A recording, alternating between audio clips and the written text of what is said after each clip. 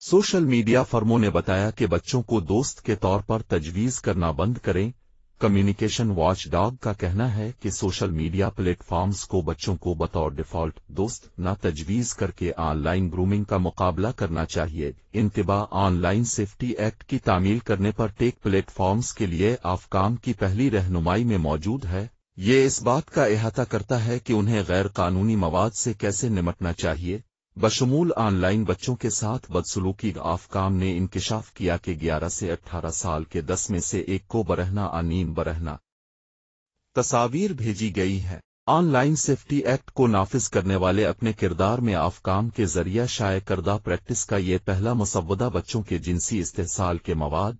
Grooming और धोखादही जैसी सरगर्मियों का अहाता करता है, ये सुनना चाहता है कि टेक प्लेटफॉर्म उसके मंसूबों के बारे में क्या सोचते हैं। ज़्यादातर रहनुमाई का मकसद ग्रूमिंग करना है।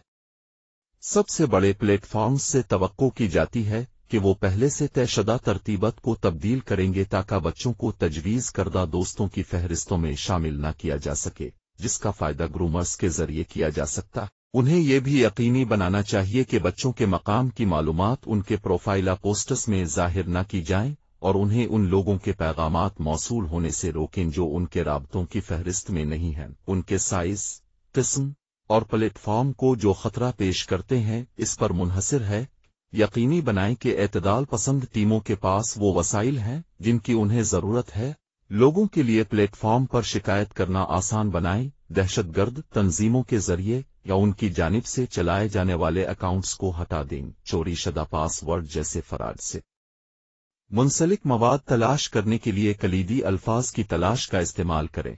बच्चों के साथ बदसलूकी की वेबसाइट्स के पते पर मुश्तमिल मवाद की शनाख्त करें तलाश के इंजनों को उन वेबसाइट्स को इंडेक्स नहीं करना चाहिए जिनकी पहले शनाख्त बच्चों से बदसलूकी के मवाद की मेजबानी के तौर पर की गई हो। सर्च इंजन के सारिफीन के पास तलाश की तजावीज की इत्तला देने का तरीका होना चाहिए, जो उनके ख्याल में गैर कानूनी मवाद की तरफ़ इशारा कर रहे हैं।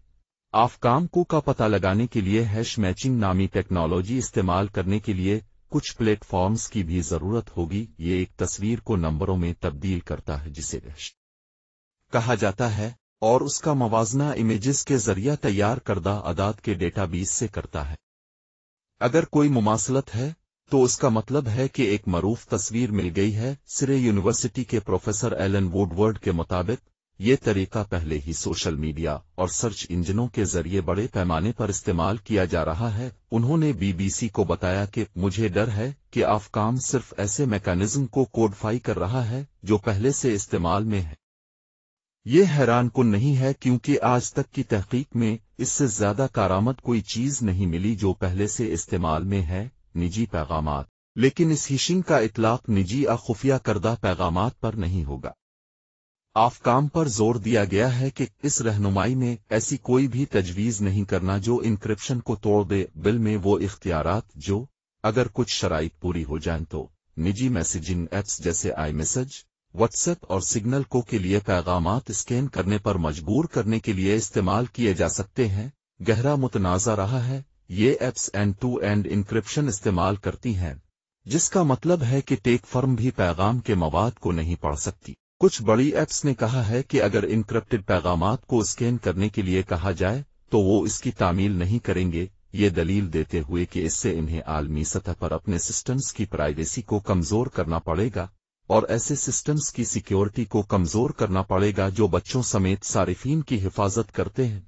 आफकाम का कहना है कि इन इख्तियार पर 2024 तक मशावरत नहीं की जाएगी और 2025 तक उनके नाफिज होने का इम्कान नहीं है। कुछ सवाल करते हैं कि क्या कभी भी इन इख्तियार को इस तरह नाफिज करना मुमकिन होगा जिससे खुफिया मवासलात की राजदारी को महफूज रखा जाए। बीबीसी के एक इंटरव्यू में पूछे जाने पर कि क्या उन इख्तियारात को कभी इस्तेमाल किया जाएगा? आफकाम की chief executive dame Melanie Dawes ने कहा, अभी ये कहना मुश्किल है, लेकिन अभी तक कोई हल नहीं है। टेक्नोलॉजी का हल, जो स्कैनिंग को खुफिया तरीके से करने की इजाज़त देता है खुफिया कारी को तोड़े बगैर माहौल लेकिन इसने इनक्रप्टेड मैसेजिंग कंपनियों की हौसला अफजाई की कि वो अपने प्लेटफॉर्म्स पर बच्चों के साथ बदसलूकी का मुकाबला करने के तरीके तलाश करेंगे। अजीम तो अफकाम को दरपेश चैलेंज अहम है।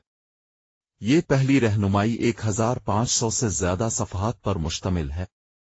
एक लाख से ज़्यादा खदमात, जिनमें से अक्सर बरतानिया से बाहर हैं। जाबते के ताबे हो सकती हैं और हुकूमती अदाद शुमार ने तजवीज़ किया है कि बीस हज़ार छोटे कारोबार को तामील करने की ज़रूरत पड़ सकती है। ये पूछे जाने पर कि क्या अफकाम के पास मतलूबा वसाइल मौजूद हैं? डैम मेलानिया ने एतराफ किया कि ये एक वाकई बड़ा काम था, लेकिन उन्होंने मजीद कहा कि हम इस काम के लिए पूरी तरह तैयार हैं। और हम वाकई पुरजोश हैं कि हम आज लॉन्च कर रहे हैं। इसे अवाम और मुहिम चलाने वालों से तवक्कुआत का इंतज़ाम करने के लिए एक और चैलेंज का सामना है।